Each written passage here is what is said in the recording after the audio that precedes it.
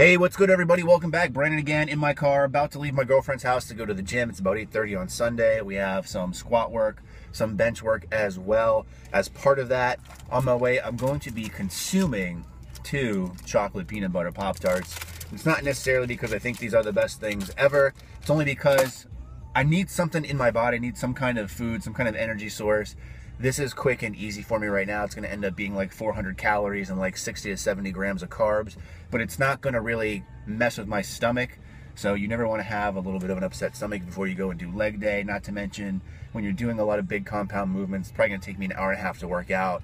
Ideally, I would have had some kind of meal beforehand, but this will work for now. At least I hope it will. We'll know when we get it. Take a look at the clip. So let's get to it.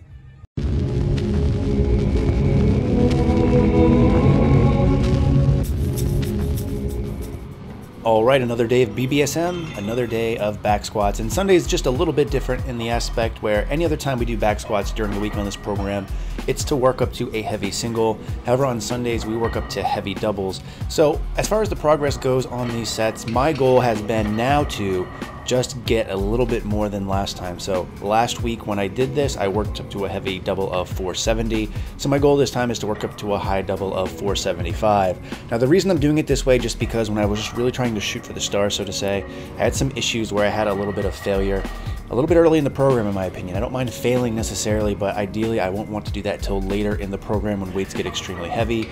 So that's the goal 475 for two. You saw my first warm up set of 410 for two, then jumped up to 440 for two before jumping to 475 here.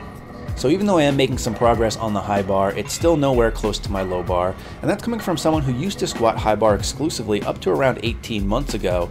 And although I was seeing some good gains, I only really got to around 405 or so and wasn't really able to break that plateau, or plateau if you're Chris Jones, shout out to Physiques of Greatness, and it wasn't really until I switched to low bar that I started to see some really good gains. And again, even though I'm happy with the progress I'm seeing here on high bar again, I'm really looking forward to switching back to low bar and seeing how this strength really transfers over.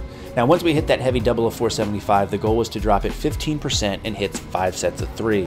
You'll notice here it takes some time for me to actually descend, so I sit there and really get stabilized, and I really suggest you do this too, only because I see a lot of people who unrack the bar, take two steps back, and just drop right down in the hole.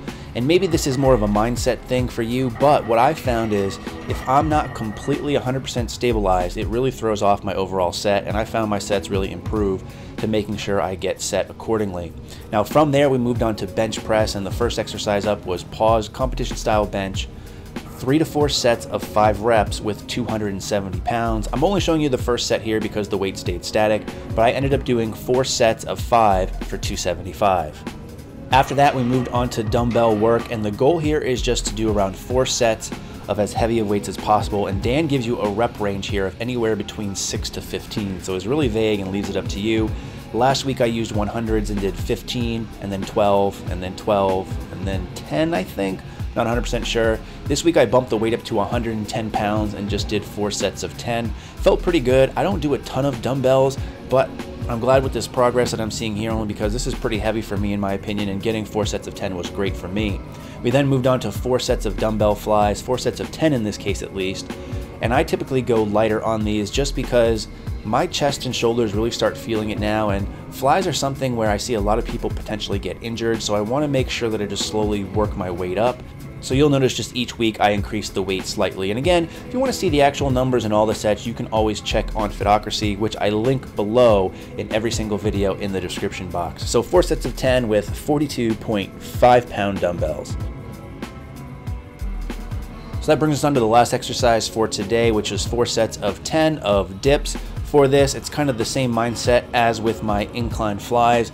So I just increase the weight each week. In this case, we're up to 55 pounds, doing four sets of 10. You see these little bumps in my elbow, especially my right one. That's from when I fell on the ice, if you remember that vlog video. I think I chipped something in my elbow because that hole's been there ever since. In the meantime, as always, thanks for watching and stay big.